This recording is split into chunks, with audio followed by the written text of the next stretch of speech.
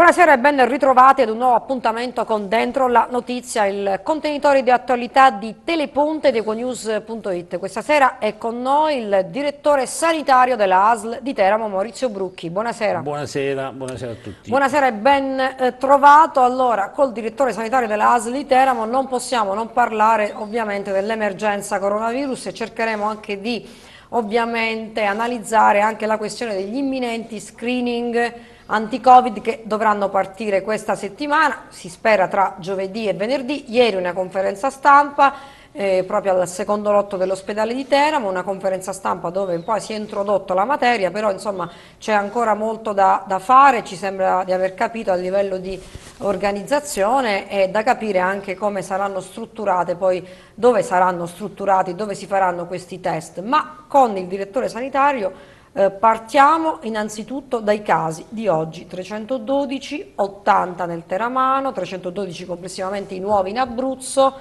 eh, un po' di più rispetto a ieri, però si veniva dalla domenica, eh, si devono analizzare in maniera... come si devono analizzare questi dati? Perché su Teramo ci sembra che, che stiano scendendo, per esempio. Ma i dati diciamo, indicano ora al netto di qualche, eh, di qualche diciamo, giornata in cui il dato è altalenante, i, i dati stanno scendendo, eh, i ricoveri sono anche in diminuzione, anche se noi sui ricoveri in questo momento diciamo, manteniamo più o meno un dato eh, abbastanza costante negli ultimi giorni, questo è dovuto al fatto che abbiamo ricoverato diverse pazienti delle case di riposo, diversi ospiti delle case di riposo che hanno visto diciamo così, come aggravarsi le proprie situazioni e quindi sia già nella giornata di sabato, fra sabato e domenica abbiamo ricoverato circa 10 persone, per cui questo diciamo, ci fa sì che il dato dei ricoveri si mantiene più o meno costante, però in effetti i ricoveri diciamo, al netto delle case di riposo sono in leggera diminuzione.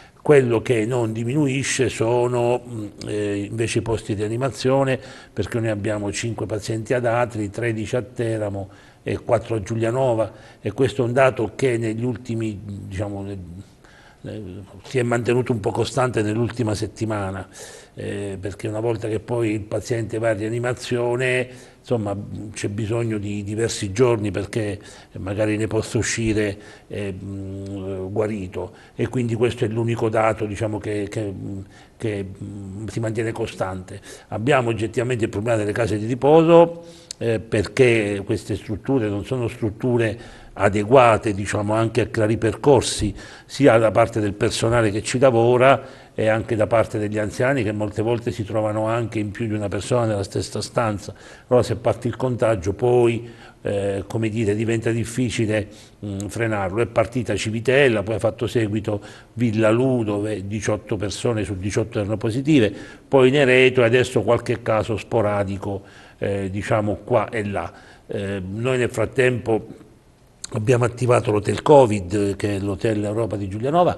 All'hotel Covid vanno quelle persone che sono dimissibili, quindi potrebbero andare a casa, che però, però non vanno a casa perché magari eh, sono ancora positivi e quindi a casa la famiglia non li può accogliere. Insomma, sono delle situazioni oggettive, eh, soprattutto di tipo logistico, per cui li ospitiamo in questi hotel dove hanno diciamo un, dove sono accolti eh, con un uh, trattamento diciamo, da hotel eh, dove ogni tanto c'è anche un medico che comunque è presente e adesso abbiamo già da qualche giorno funziona il comitato, ci sono già quattro persone che sono ospiti e poi abbiamo invece eh, diciamo, aperto una nuova struttura presso Cerne di Pineto dove ospitiamo quelle persone che non possono stare per esempio nell'RA o nell'RSA eh, sono pazienti per lo più asintomatici, però dobbiamo diciamo, dire, portarli via dalla struttura perché la struttura non è in grado di garantire eh, diciamo, un isolamento o, e quindi a questo punto abbiamo aperto questa nuova struttura dove ci sono adesso 18 pazienti. Però ecco, insomma, il dato per noi, il dato del ricovero non è un dato preoccupante perché abbiamo comunque una riserva di posti ecco, da poter, posti, no, eh... posti ne abbiamo, non ci sono problemi. Ecco, ripeto, che preoccupavano le terapie intensive all'inizio. Sì, infatti, tanti, però noi diciamo abbiamo attuato una strategia che è stata questa, cioè di non farci trovare impreparati dal, al, al Covid e quindi dopo Teramo, Atri abbiamo preparato Giulianova e Giulianova l'abbiamo aperto, ci sono 5 posti letto, adesso ne, ne utilizziamo 4, Teramo abbiamo ancora un piccolo margine da attivare e quindi diciamo che sulle terapie intensive il margine c'è, seppure non è larghissimo. C'è anche Pescara poi. Qualche paziente l'abbiamo mandato a Pescara, uno a Sulmona, insomma ecco, diciamo con Pescara eh, riusciamo bene a a colloquiare da questo punto di vista, eh, soprattutto per quanto riguarda i posti di animazione. Eh, però insomma ecco, noi abbiamo ancora a Teramo qualche, ancora qualche posto da poter attivare, il problema è sempre lo stesso, il personale medico ed infermieristico che anche per quanto riguarda le animazioni eh, è carente. Voglio sottolineare che a fronte di questo noi continuiamo a garantire un'attività operatoria eh, e di ricovero non Covid, questo è molto importante. Ecco, l'ospedale continua a lavorare su altro, non c'è solo il coronavirus. Assolutamente, perché eh, non si muore di solo Covid, ma tutto diciamo, il, eh, eh, la, la, il, comparto cardiochirurgico eh, si continua ad operare a fare interventi di cardiochirurgia eh, così anche in sala operatoria le patologie oncologiche eh, vengono sottoposte all'intervento. È chiaro che le patologie di elezioni, tripunerni, una colecisti verranno, vengono rinviate, però tutto ciò che è urgente e comunque salvavita, in particolare le patologie oncologiche, hanno la possibilità di essere trattate sia a Teramo che a Santomero, questo è molto importante. Santomero che per il momento è tutelato in questo senso perché non è ospedale, non, non ha reparti Covid, in questo momento è l'unico ospedale nella provincia che Santomero non ha per, per scelta dell'unità di crisi eh, è stata diciamo, lasciata così eh, libera da Covid. C'è il pronto soccorso che ha dei posti di Obi-Covid e poi diciamo, accoglie il paziente che arriva, questa è un'altra cosa importante che noi abbiamo fatto, noi abbiamo certo. dotato il pronto soccorso di posti, si chiamano Obi-Covid, cioè sono dei posti dedicati e adesso a Teramo ne abbiamo aperti altre sei, poi ce ne sono cinque a Santomero, cinque a eh, Giulianova e ce ne sono 5 datri ma che adesso aumenteranno. Perché è importante? Perché questo diciamo, evita quella cosa molto brutta che è quella di, di tenere il paziente nell'ambulanza fuori ad aspettare il ricovero. Invece il paziente viene messo in questi posti letto, uh, sono posti letto che hanno diciamo, le caratteristiche per ospitare i pazienti sospetti Covid o sospetti Covid eh, lì vengono stabilizzati, vengono monitorati e poi si decide, dopo aver fatto alcuni accertamenti, se essere ricoverati o meno. E questo ci dà un, un grande respiro, c'è una possibilità anche di gestire bene poi i posti letto certo. eh, nel, nel, ricovero. E questo devo dire che è una delle cose, noi siamo partiti per prima in questo senso, poi anche le altre province ci hanno seguito. come dà... ASL, l'ASL è partita per prima. L'ASL Teramo è partita per prima e questo diciamo, ci dà un grande respiro, una possibilità davvero di poter gestire bene poi i, i ricoveri.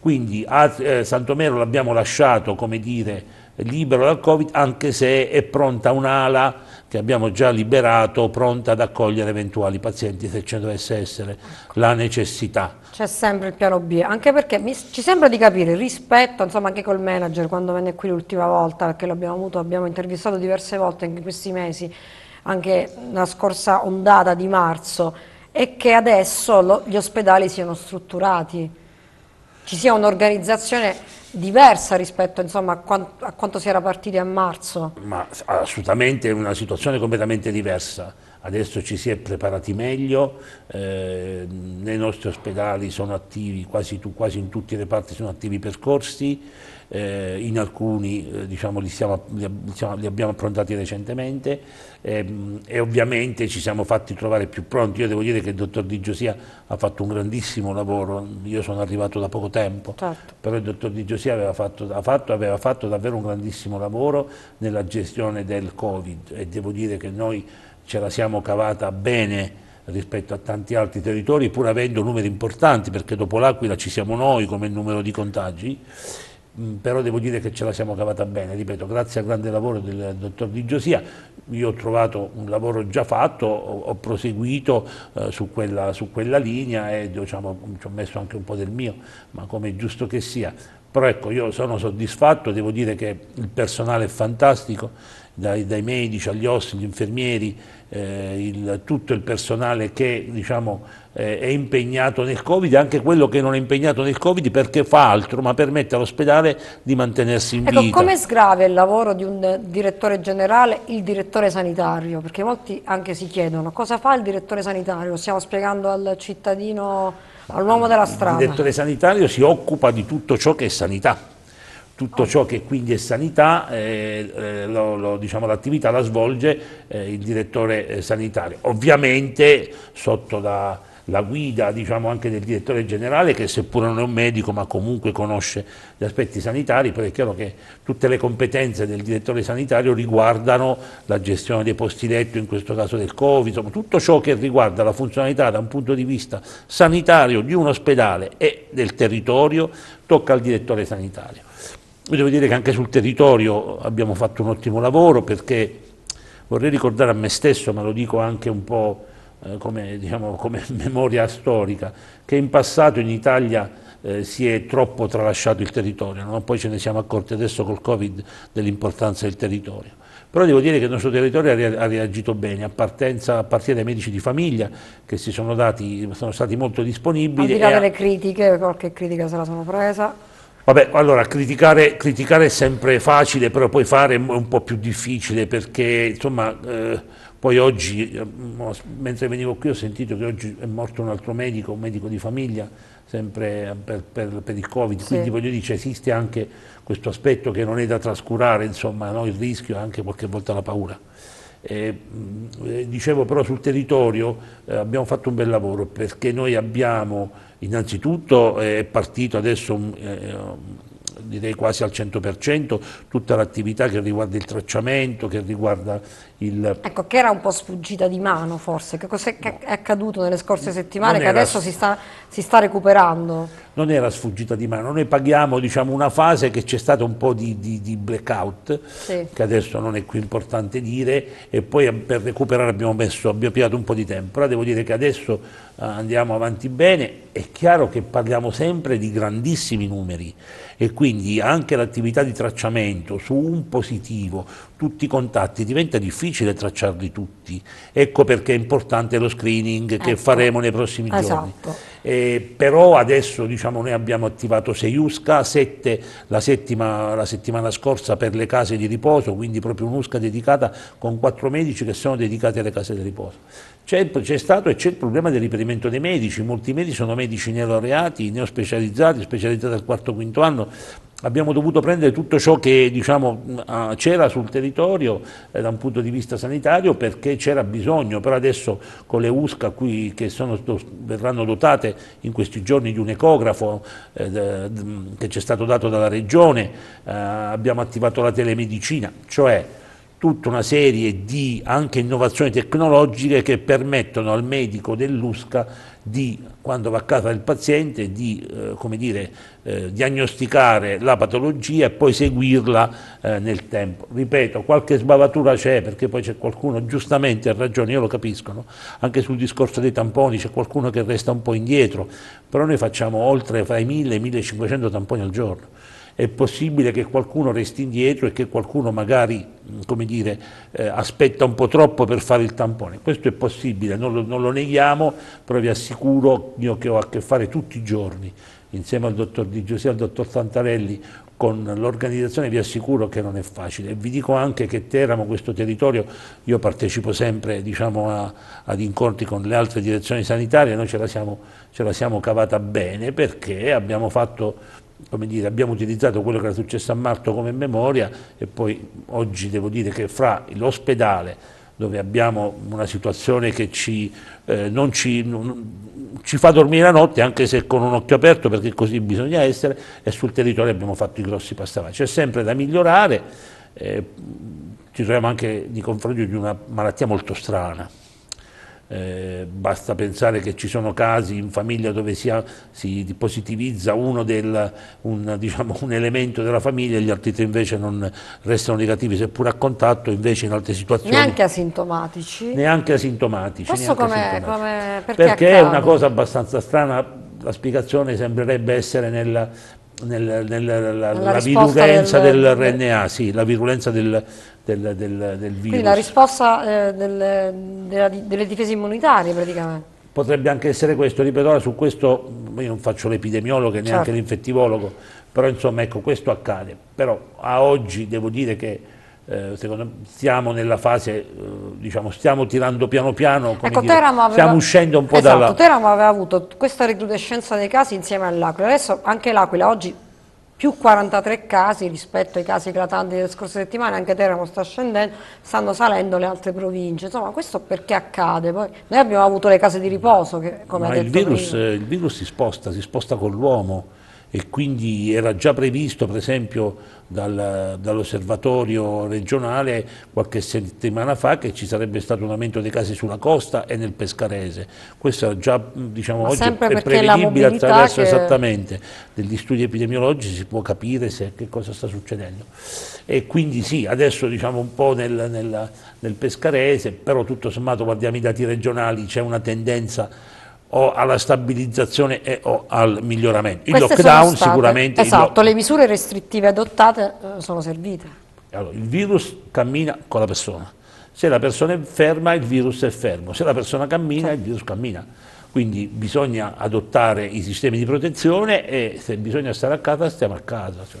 Assolutamente, ecco, si parlava degli screening, di questi test di massa che sono già partiti all'Aquila, hanno avuto anche una tempistica abbastanza lunga, oltre due settimane, avremo la stessa tempistica in provincia di Teramo, partiranno tra giovedì e venerdì, come detto, eh, a cosa servono e soprattutto a chi sono dedicati, perché c'è molta confusione. Anche allora, su questo. questo io partirei chi è che non prende parte al programma di screening, perché non voglio sbagliare per cui leggo, perché questo è molto importante. Assolutamente importantissimo. Allora, non deve partecipare al programma di screening e poi spiegheremo bene che cos'è e perché bisogna farlo o chiunque abbia sintomi che indicano un'infezione da Covid-19, cioè chi ha qualche sintomo che eh, potrebbe far pensare al Covid-19 e non è solo la febbre, ma per esempio la perdita del gusto, la perdita dell'olfatto, il mal di gola, la tosse, non deve partecipare.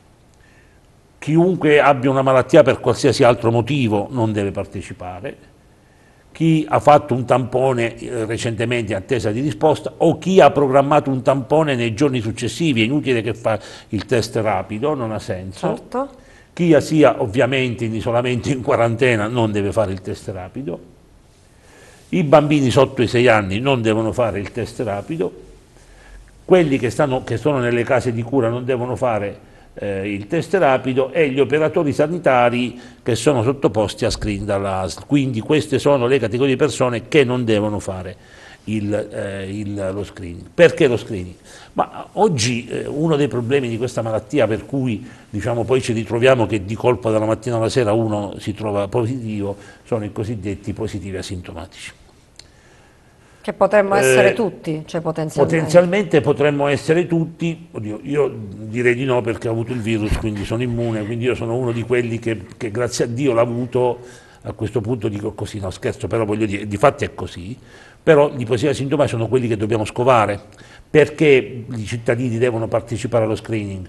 Innanzitutto perché è giusto che lo si faccia anche da un punto di vista eh, sociale e del rispetto dell'altra persona, perché se io sono positivo asintomatico lo devo sapere e devo stare a casa, perché se no svolgo quella funzione di untore che non è simpatico per se stesso e per gli altri. Certo. Quindi il primo aspetto, che poi è quello centrale, cioè andare a trovare quelle persone e ce ne sono perché all'Aquila insomma, sono stati circa, non mi ricordo, 230-240, una percentuale che va dallo 0,5 all'1% più o meno, e quindi ci sono questi positivi asintomatici e trovare questi positivi considerando, come dicevo prima, che da un positivo si possono sviluppare decine, centinaia di contatti, se non migliaia, perché dipende da cosa fa questa persona anche nella vita, che lavoro svolge. Esatto, e quindi diventa la mobilità anche esatto. lì. E certo, se so, penso un agente di commercio che va in giro e va a fare il suo lavoro, immaginiamo quante persone incontra, certo. quindi ecco perché è importante partecipare. Non bisogna aver paura perché sentivo in questi giorni, ah ma se poi sono positivo vado in isolamento 10 giorni, eh sì, sì, si va in isolamento ecco, 10 giorni. Ecco, fai il test, esatto, e poi devi, se, se trovano allora, funziona così, ecco, diciamo. diciamo. Il, cittadino eh, diciamo, aderisce al test e poi insomma, ci sono tanti modi di aderire, stampandosi il, diciamo così, il formato per l'adesione sul sito del comune, sul sito della ASL. Ecco, dove si troveranno questi Ma, Allora, questa organizzazione dipende fondamentalmente dai comuni. Noi siamo da supporto perché il Comune attraverso la protezione civile devono organizzarsi da questo punto di vista, devono organizzare i luoghi, la logistica, quindi dove si farà lo screening e devono organizzare anche su quattro postazioni due postazioni che sono quella del, del, diciamo, dell'accoglienza, del ricevimento del cittadino e della sua, mh, diciamo, dire, eh, eh, del, della sua iscrizione allo screening. Poi c'è l'ultima postazione invece dove si devono registrare dei dati che poi vanno comunicati alla Regione e alla Protezione Civile, le due postazioni in mezzo toccano alla ASL, che sono quella dell'effettuazione del tampone e poi della lavorazione del risultato. Perché il risultato arriva subito poi tra l'altro? Il risultato arriva, dipende dal tipo di tampone, va dai 3 ai 15 minuti massimo, dipende dal tipo di tampone antigenico. È chiaro che noi abbiamo scelto che eh, poi entro tre ore, per le tre ore successive, il cittadino deve stare a casa. Perché... Il cittadino, per spiegare, va in queste postazioni. Allora, facciamo, un esempio, sì, facciamo, un esempio. Facciamo un esempio pratico. Eh. Eh, parliamo di Terame e parliamo della, del, del drive-in. Okay. Perché si potranno utilizzare anche i drive-in. Per cui il cittadino arriva con la macchina, viene registrato, viene accettato, passa al punto successivo, gli viene fatto il tampone, viene letto e il cittadino va via, se ne può andare. Ah, se ne può andare per, subito? Sì, sì, ha finito, se ne va. Eh, ma se è positivo? Entro, entro tre ore, diciamo, se entro tre ore il cittadino non riceve nessuna comunicazione è libero, quindi vuol dire che è negativo. Il segno invece vediamo che è positivo, il cittadino verrà richiamato immediatamente perché noi abbiamo il suo cellulare e il suo numero di telefono certo. e verrà disposto dal SIESP la quarantena, l'isolamento. Nei giorni successivi, ora su questo stiamo lavorando ancora qualche giorno per capire se possiamo fare ancora prima, del giorno successivo, gli verrà prenotato un tampone molecolare perché c'è bisogno sempre del, del riscontro, del, del tampone classico, del riscontro del tampone molecolare perché il tampone antigenico rapido è un, un tampone che non dà falsi negativi, ma il positivo va confermato. Certo. Quindi il negativo dopo tre ore è libero, il positivo gli verrà comunicato subito, viene messo in isolamento dal SIES e poi gli viene prenotato da noi, cioè sarà la stessa che gli prenoterà nell'immediatezza o al giorno successivo un tampone molecolare. Quindi il cittadino deve diciamo, la sua attività in che cosa si svolge? Innanzitutto aderire allo screening è una mia raccomandazione. Ricordiamo che non è obbligatorio. No, è volontario. È di natura volontaria, però insomma, l'ho spiegato prima. Ma bisogna farlo, guardate, bisogna farlo, ve lo dice uno che il Covid l'ha avuto e quindi guardate la mia esperienza. Eh, io il Covid l'ho avuto, grazie a Dio, sono stato fortunato, non sono fra quelli che è stato ricoverato, però qualche sera insomma anch'io avevo la mia desaturazione, respiravo non benissimo. E allora se uno sa di essere positivo, seppur asintomatico, A deve pensare a se stesso perché quella asintomaticità non è detto che duri. Ecco, può trasformarsi duri. in malattia, perché poi si dicono che gli asintomatici sì. non sono no, malati, quindi... Eh. Tu puoi essere asintomatico oggi e poi nei giorni successivi sviluppare la malattia. Ecco. Secondo, dobbiamo pensare anche alla società e non, non, non, non fungere da untori, perché noi magari restiamo asintomatici, ma c'è la persona che ha una patologia associata, tipo il diabete o la pressione alta o l'obesità, che se prende il coronavirus può rischiare e può rischiare anche tanto. Ecco perché allora bisogna dire, il mio invito veramente è aderite, non c'è da aver paura. Il tampone è un tampone molto semplice, non dà fastidio, eh, verrà fatto da personale sanitario, ehm, esperto. Ecco, voi avete, come abbiamo visto ieri poi nella conferenza stampa, tra l'altro eh, c'erano anche gli ordini eh, professionali presenti, ci sono anche, anche l'ordine dei veterinari, per esempio, avete messo in campo per dire oh, noi, io biologi. Io ringrazio gli ordini tutti perché ieri il direttore di Giosia lo ha fatto benissimo, anche facendo una foto con tutti gli ordini, per far capire anche come ci sia un lavoro di squadra dietro. Eh, gli ordini hanno già nella giornata di sabato inviato una lettera ai propri iscritti, già non stanno raccogliendo le adesioni su base volontaria, al di fuori dell'ora di servizio si può fare, perché noi poi dovremo eh, diciamo, individuare tra queste figure il, quello che fa il tampone e quello che lo processa, cioè quello che lo legge.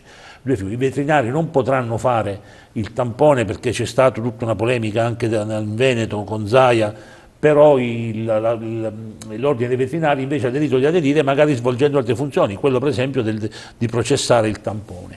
E quindi io ringrazio, ringrazio tutti gli ordini, i medici, i biologi, i veterinari, i tecnici, gli infermieri, davvero tutti, ieri erano presenti, si stanno dando davvero tanto da fare perché abbiamo bisogno di numeri importanti, perché noi... Ecco, mi sembra di capire che la mole organizzativa sia, sia veramente enorme.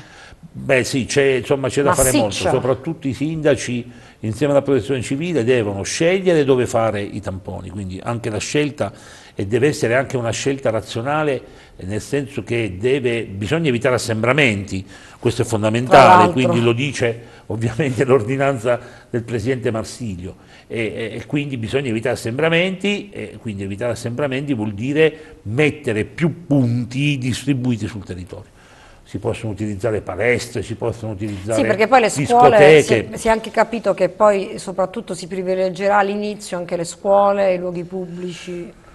Sì, diciamo le palestre delle scuole più che le scuole, perché poi diciamo, devono essere spazi ampi. E lì poi diciamo, ogni sindaco si organizzerà come meglio ritiene opportuno, noi diciamo, non, abbiamo, non, entriamo in, questa, in, questo aspetto specifico, seppure possiamo dare dei consigli se ci vengono richiesti, i sindaci si organizzano in questo senso e poi noi mettiamo, arriveranno i tamponi rapidi dalla protezione civile della regione, fornirà i tamponi anche tutti i DPI perché bisogna proteggersi anche per chi fa questo tipo di attività e, ehm, e, quindi insomma poi si partirà. Io credo che fra giovedì e venerdì riusciamo sicuramente a partire, eh, anche su questo abbiamo fatto una scelta oggettiva su chi perché adesso insomma, i sindaci scalpitano, vogliono partire. ognuno vuole partire per prima. Ma è bello questo perché vuol dire che comunque c'è tanta voglia e siamo, questo è positivo. Ecco, dove Però si partirà? Abbiamo scelto eh, diciamo, il numero dei positivi in percentuale degli ultimi tre giorni, fatte eccezioni alle case di riposo. Quindi è chiaro che se un territorio negli ultimi tre giorni si è visto un numero crescente di positivi, allora forse è il caso che lì cominciamo per prima perché lì ci potrebbe essere un, un focolaio che si sta sviluppando.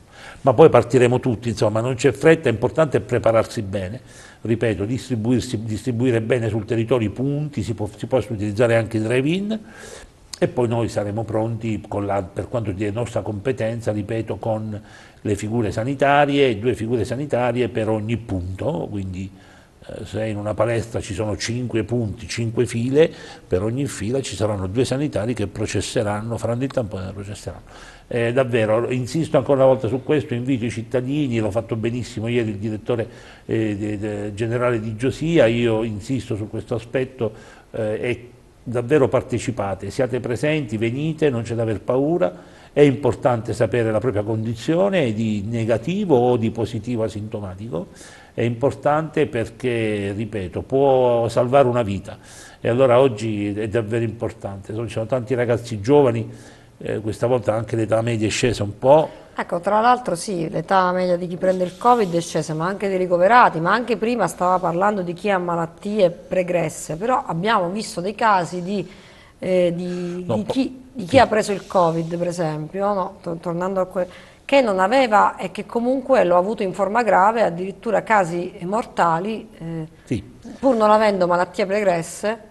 ci sono, sono, pochi, grazie a Dio, si contano sulle eh, dita di una mano, però ci sono, ci sono dei casi di eh, ragazzi anche giovani che hanno preso il Covid e si sono subito aggravati e questo Quindi ci dispiace, stiamo facendo avere... di tutto.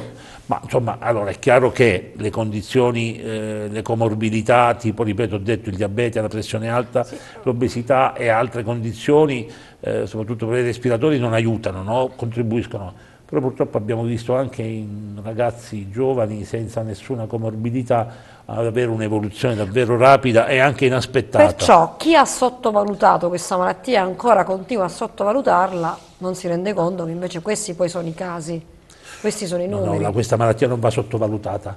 Ecco perché bisogna partecipare, anche per questo bisogna partecipare allo screening, non va sottovalutata perché è una malattia che si può comportare con un semplice raffreddore, però ti può dare una polmonite eh, che ti può portare anche purtroppo a morte, quindi assolutamente non va, non va sottovalutata, bisogna rispettare quello che ci viene detto, anche se qualche volta ci può sembrare assurdo. Mm eh, perché su alcune decisioni del governo potrebbero essere anche discutibili, no? però io dico sempre che chi ha il potere decisionale poi prendere decisioni è sempre difficile all'ultimo certo. momento, io l'ho fatto per tanti anni e quindi qualcuno poi la deve prendere la decisione, magari alcune cose forse potevano essere come dire, messe eh, diversamente, però su questo io credo che non bisogna criticare, è un momento difficile, eh, diciamo, grazie a Dio speriamo che ci stiamo avviando, i dati poi ci confortano, però ecco, insomma, venite allo screening, eh, torneremo sull'argomento, vi faremo sapere il giorno in cui siamo in una cittadina piuttosto che in un'altra eh, ed è importante fare percentuali eh, di adesione alte perché più, più, più persone fanno il tampone, più abbiamo la possibilità di scoprire pazienti Covid positivi asintomatici che non sanno di avere il Covid, vanno in giro e infettano chissà quante altre persone. Esatto, un po' quello è il problema, quindi è proprio chi sta in salute o chi pensa di stare in salute, quindi non ha febbre in questi giorni, non avrà febbre, proprio chi sta in salute deve farlo. Sì, sì, l'ho detto prima, quali sono le categorie che non devono partecipare, però tutti quelli che invece possono partecipare devono venire eh, ci saranno anche drive-in sul territorio, insomma ogni sindaco si sta organizzando, si sta organizzando, ha vicino la protezione civile che gli, gli, darà una mano, però sicuramente la macchina organizzativa è imponente eh, ed è, insomma, non, non, è facile e organizzare. Partirà, no, infatti non è facile, partirà anche un battage mediatico eh, su questo, eh, che dire, siamo alle battute finali, quindi comunque voi mh, allora, questo esperimento, tra l'altro, vogliamo ricordarlo, è stato fatto a Bolzano per primo e poi arriva l'Abruzzo. Sì, è stato fatto a Bolzano, poi il presidente Marsilio lo ha voluto, diciamo, fortemente anche in Abruzzo, siamo partiti con l'Aquila, è partita con l'Aquila, adesso toccherà a Teramo e poi vedremo, poi c'è il, il, Natale e quindi magari si, ecco. si vedrà che, però, vediamo anche come va, come, qual è l'andamento del virus, però eh, potrebbe essere stretto, eh, esteso a tutto l'Abruzzo. Ecco, chi vi aspetta, eh, sì, si era anche detto questo, di essendolo a tutto l'Abruzzo, che vi aspettate adesso al, al Natale comunque, perché un'idea ve la siete fatta sull'andamento? Ma insomma, io adesso, meno male che siamo tornati in zona arancione, io credo che, che insomma... Torneremo anche in zona gialla. Ha fatto bene per, per quello che è il mio semplice pensiero, Marsilio, però eh, non dobbiamo sicuramente abbassare la guardia, questo... Mm eh, non dobbiamo pensare che la Guardia, va, diciamo, dobbiamo continuare ad utilizzare le mascherine, dobbiamo eh, continuare a, ad utilizzare il gel, insomma ripeto, tutto quello che abbiamo fatto fino ad ora, abbiamo fatto bene, continuiamo a farlo.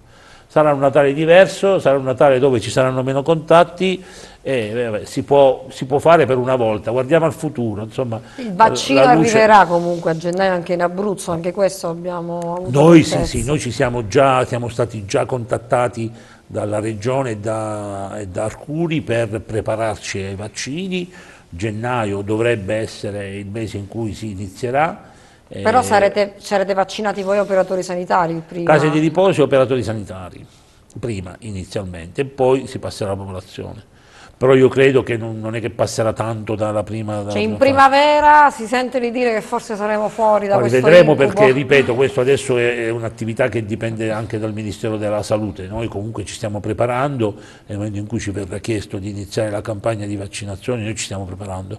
Anche perché una piccola nota polemica me la permetta, con i vaccini anti-influenzali forse qualcosa non è andato per il verso giusto? No, non è vero, noi con i vaccini influenzali siamo andati molto bene, eh, noi abbiamo già, ehm, abbiamo, innanzitutto tutti i vaccini che sono stati messi a disposizione li abbiamo utilizzati. Cosa che non, non è, ri, rispetto ai numeri dell'anno scorso abbiamo vaccinato il doppio delle persone. Quindi la vaccinazione è andata molto bene, hanno fatto bene i cittadini a vaccinarsi e, e, quindi adesso sono arrivati altri vaccini che abbiamo dato anche ai medici di famiglia che così potranno aiutarci nella vaccinazione. Siamo passati alle categorie ai bambini da 0 a 6 anni e alle categorie più deboli, quindi devo dire la vaccinazione a Teramo è andata bene, noi vaccini li abbiamo avuti nei numeri che avevamo richiesto, quindi diciamo, questo problema non c'è stato e continua ad arrivare mano a mano che li stiamo richiedendo, quindi sulla vaccinazione anti-influenzale sta andando bene. Ehm, tra l'altro si sente anche che adesso arriveranno nuovi test che, che diciamo, differenziano i tipi di influenza dal coronavirus, qui voglio dire adesso la tecnologia ci verrà molto in aiuto. No? Però ecco, eh, per, per far questo bisogna fare il test, ecco perché dico che eh, intanto iniziamo con questo screening di massa eh, che la Regione ha messo in campo per, eh, diciamo, come primo, come primo screening, poi ce ne potranno essere altri e ne faremo sicuramente altri perché è importante anche... Ok, per il cittadino quindi bisognerà che il cittadino si rivolga, quindi i comuni, i sindaci faranno la loro parte, ma sul sito della ASL guarda, ci saranno tutte le informazioni anche, anche il sito della ALS, i medici di famiglia, ecco, le, farmacie, di famiglia. le farmacie, il comune, quindi la possibilità di eh, stamparsi il, diciamo così, il, il, modulo per poi Quindi, aderire. Se io vado in farmacia mi danno le informazioni. Noi assolutamente faremo in modo che, che, questo, diciamo, che la comunicazione sia capillare, perché ognuno deve poter apprendere quelle che sono, diciamo certo. così, quella che è la procedura. Eh, e quindi poi insomma, ecco, partecipare eh, e, e, poi insomma, ecco, ripeto, continuiamo su questa strada che non stiamo andando male si parla di, di, qualcosa che potrà venire, terza ondata, io intanto direi pensiamo a questa seconda ondata e affrontiamola come la stiamo affrontando, con lo stesso piglio, la stessa determinazione e, e la, la, collaborazione che c'è, ripeto. Eh, eh, c'è tanto lavoro dietro, e, però ecco, insomma, alla fine poi i risultati mh, arrivano. Eh, ci dispiace che insomma, purtroppo c'è chi non ce l'ha fatta e insomma, il, il pensiero va va a loro, il direttore di Giosia su questo diciamo, come dire, è stato toccato veramente da vicino per la scomparsa certo. del fratello, eh, io l'ho vissuto un po' da vicino, il direttore davvero è una persona che pure in quei momenti ha continuato a fare il suo lavoro, il suo dovere perché ce n'ha bisogno della sua presenza, questo gli va riconosciuto e gliel'ha riconosciuto anche nell'unità di crisi, davvero della, è stata una persona che è sempre presente. Io, eh, sono contento di questo ruolo che sto ricoprendo anche per questo, perché comunque ho un direttore generale che è sempre sul pezzo e questo deve essere una garanzia ed è una garanzia anche per i cittadini. Bene, grazie a Maurizio Brucchi, grazie direttore sanitario dell'ASL di Teramo. Noi quindi parleremo ancora poi dello screening nei prossimi giorni perché sarà, si farà una campagna capillare, come ha detto appunto eh, poc'anzi il direttore eh, sanitario in tutti i comuni della eh, provincia di Teramo. Grazie ancora. Buonasera. E noi ci ritroveremo invece per un altro appuntamento con Dentro la Notizia. Arrivederci.